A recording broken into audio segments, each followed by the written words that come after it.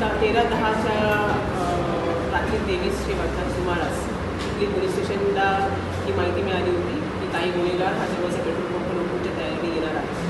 त्या पद्धतीने चिखली पोलीस स्टेशनचे senior P I crime P I आणि निधी तिथे सापळा रचला आणि त्या सापळ्यामध्ये त्यांनी या गुन्ह्यांना दरोड्याच्या तयारीत असताना अटक केली आहे.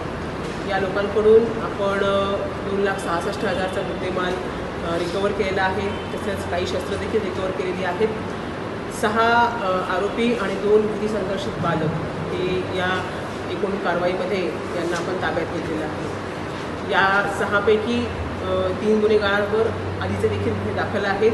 त्यांची सगळी आपण माहिती घेत आहोत आणि ती माहिती घेऊन अ, मोकान्वये त्यांच्यावर अधिक चांगली कारवाई करण्याचा आपण प्रयत्न करतो आहोत. या गुन्हेगारांकडून यापूर्वी निगडीला तो एक रॉबीचा रॉबरीचा गुन्हा दाखल झाला होता. त्याची चित्रफित जी आहे ती समाजमाध्यमांवर फिरत होती.